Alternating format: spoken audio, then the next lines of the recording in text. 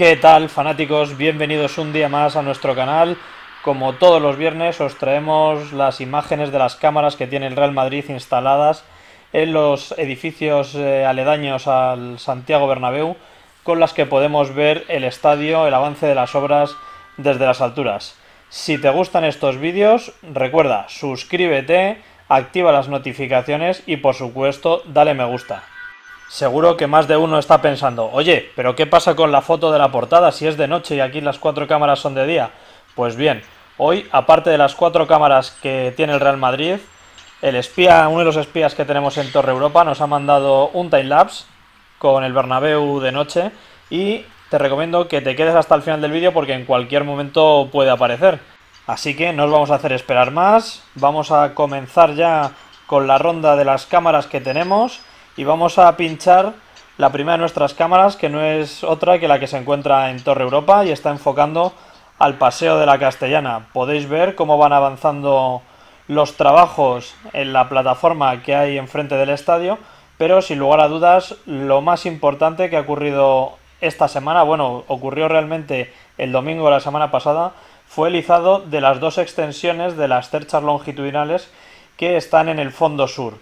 Como podéis ver, solo podemos ver aquí la que se encuentra más cercana a la torre B y la de la torre A la vemos muy muy al fondo tapada por la grúa de color naranja. Para los que hayáis llegado nuevos al canal, si os perdisteis y no habéis visto el izado de estas extensiones, de estas piezas gigantescas, os recomiendo que le echéis un ojo a los dos vídeos que os dejamos aquí arriba en la derecha. Uno de ellos es un directo en el que estuvimos justo debajo de una de estas piezas gigantescas y el otro es el vídeo resumen con la vuelta al estadio y demás que tiene un timelapse espectacular en el que se recoge este momento histórico, este hito en la obra de la reforma del Santiago Bernabéu. Os recomiendo que le echéis un vistazo. Además, otro de los detalles que podemos ver en esta imagen es cómo van creciendo las nuevas torres de acceso, cómo siguen creciendo esas rampas, esos sacacorchos en los que dentro de muy poco esperamos ver aficionados accediendo y saliendo del estadio. Como detalle os quiero comentar que creo que la torre B, la que se encuentra en el fondo sur, creo que es ligeramente más alta que la que se encuentra en el fondo norte. A ver si este fin de semana, cuando Lobo se acerque a grabar, porque yo me voy a tomar unos días de descanso, necesito desconectar Espero que Lobo pueda echar un vistazo y comprobar si realmente es así. Porque da la sensación de que la torre C, la del fondo norte, va más avanzada en los trabajos que la del fondo sur, pero sin embargo creo que en altura la del fondo sur es más alta que la del fondo norte. Esto creo que se debe a la inclinación que tiene el Paseo de la Castellana, no, como sabéis no es llano, tiene una pendiente y creo que estas torres terminan su cota superior a la misma altura y por eso la del fondo sur es más alta que la del fondo norte. Como os he comentado, yo este fin de me voy de vacaciones, me voy desde el viernes hasta el miércoles 23, si no me equivoco, pero bueno, os dejo en buenas manos, se va a quedar Lobo a los mandos del canal, de los vídeos del fin de semana y por supuesto también tenéis al amigo Javier Caireta que no deja pasar un día sin, pisar las obras del Santiago Bernabéu. Además creo que coincide que cuando se va Javier vuelvo yo, así que bueno, así os aseguráis que no os va a faltar absolutamente nada. Además, os tengo que decir que nosotros en el canal para estas navidades tenemos preparado algo muy muy gordo. Vamos a tener nuestro Boxing Day particular como en la Premier League y desde el día 23 hasta el 10 de enero, o sea, desde el 23 de diciembre hasta el 10 de enero vais a tener un vídeo todos los días en el canal, ya sea vídeo o sean directos. Así que suscribiros porque creo que os lo vais a pasar muy muy bien estas navidades. Vamos a estar muy entretenidos y vais a tener contenido muy chulo y diferente. No van a ser, aparte de los típicos vídeos que estamos subiendo durante los fines de semana o las imágenes así desde las alturas, hay vídeos muy, muy espectaculares de time lapse cómo han evolucionado las obras, eh, qué es lo que está por venir en, en 2021 en el canal.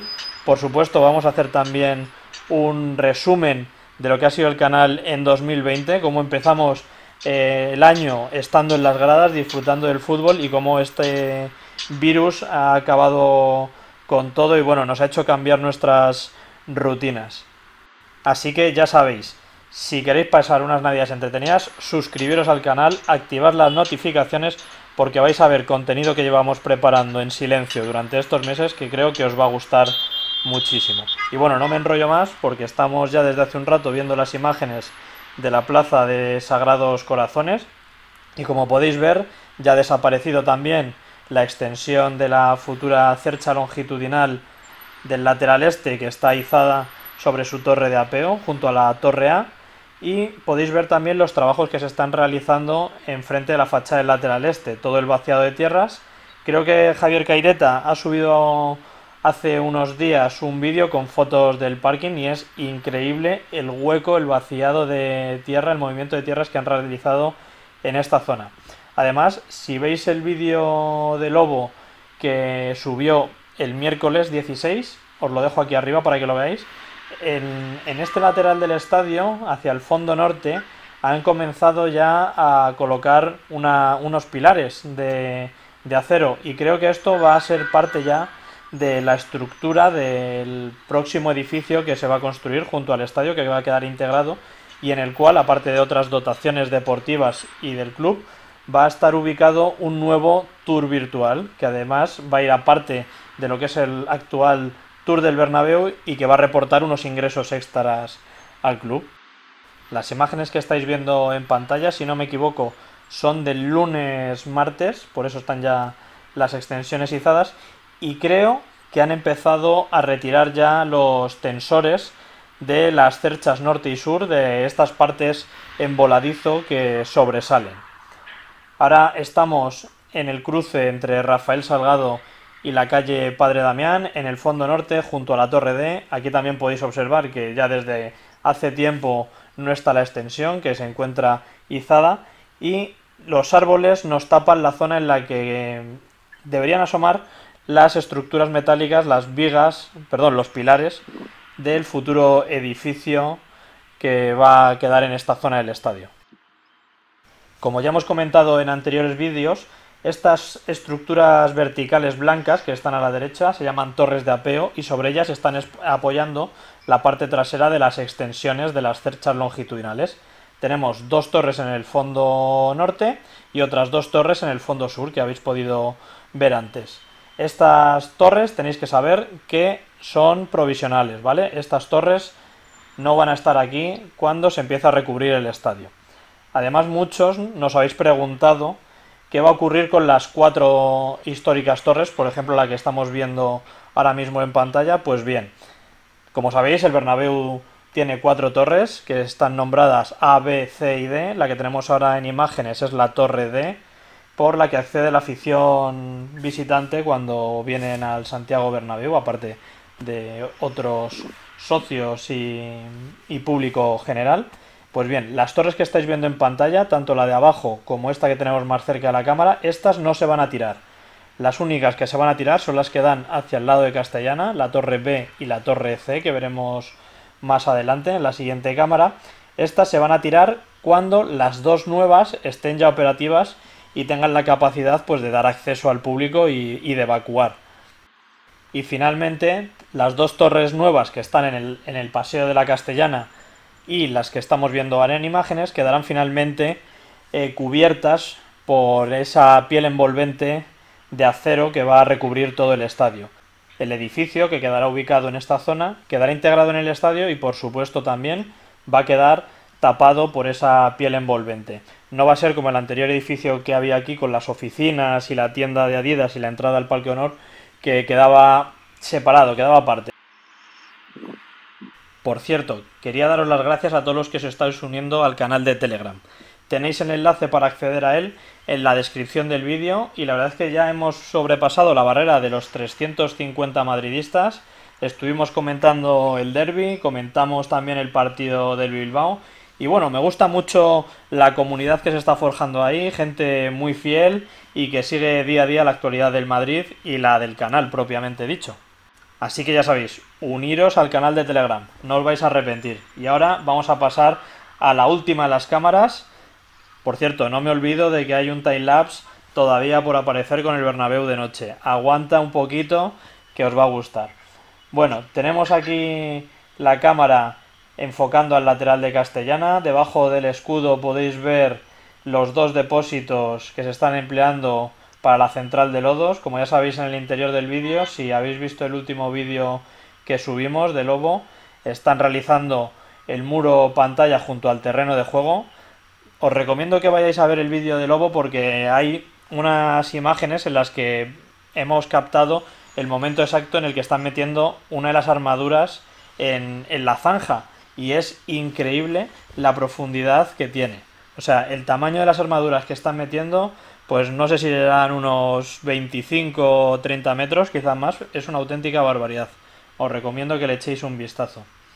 Por supuesto, como ya sabéis, estas actuaciones están dirigidas a la realización de la cueva para instalar el sistema de césped retráctil que parece que por fin esta incógnita se ha despejado. Podéis ver más en detalle cómo se encuentra la plataforma sobre la que se van a ejecutar las cerchas longitudinales. Como ya sabéis, estas cerchas se van a montar sobre esta estructura y con un mecanismo especial utilizando esta parte que sobresale de las cerchas norte y sur se va a izar hasta su posición y después se van a trasladar por las cerchas mediante un sistema de raíles con carretones, imagino, hasta su posición final.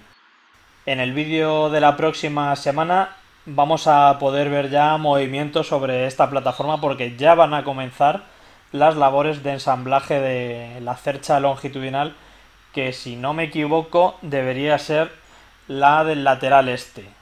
Una vez esta esté elevada, se va a quitar la cercha actual que hay ahora en la zona del gallinero y en vez de bajarla por el lateral de Castellana, si no me equivoco, que me corrijan los foreros y los seguidores que más enterados están, creo que se va a bajar y a desmontar en la zona de Padre Damián. Si queréis ver cómo han ido evolucionando los trabajos en las distintas zonas del estadio, tenemos aquí arriba la lista de reproducción con los anteriores vídeos.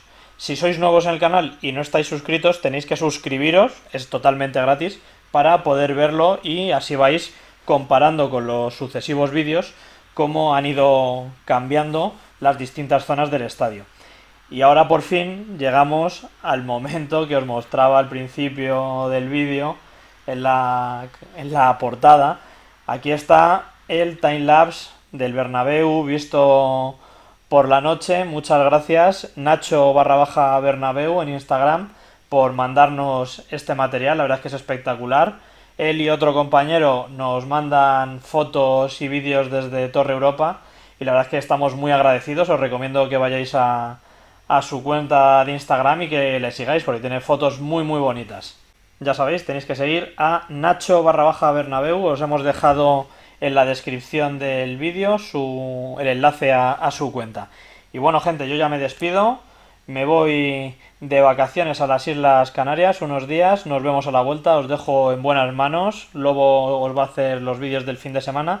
Y recordar suscribiros al canal porque estas navidades van a ser moviditas y vamos a tener nuestro particular Boxing Day siguiendo las obras del Bernabéu. Un vídeo todos los días desde el 23 de diciembre hasta el 10 de enero, incluyendo Nochebuena, Navidad, el día 31, el día 1 y la Noche de Reyes.